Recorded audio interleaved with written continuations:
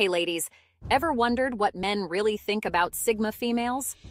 Buckle up, because today I'm breaking down the eight ways men perceive us Sigma females.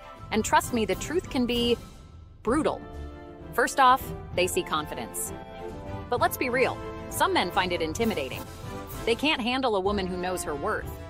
So don't dim your light just to make them comfortable. Number two, independence. Men realize that Sigma females don't need anyone to complete them. We're not waiting for a knight in shining armor. Instead, we're busy building our own castles. Third, men often think we're mysterious. Our tendency to keep things private can be seen as aloofness. But we know it's just our way of protecting our peace.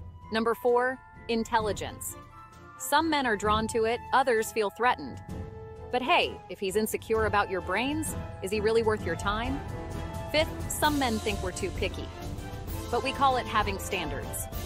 We won't settle for less than we deserve, and that's a strength, not a weakness. Sixth, they notice our resilience.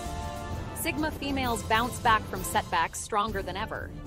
Some men might admire it, others might envy it. Number seven, self-reliance. Men see that we can handle our own problems. But remember, it's okay to lean on someone you trust every once in a while. And finally, men often see us as challengers. We push boundaries and break norms.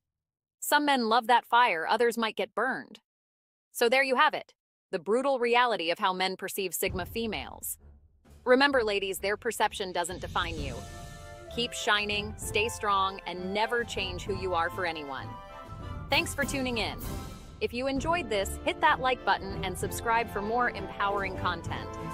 Until next time, keep being amazing.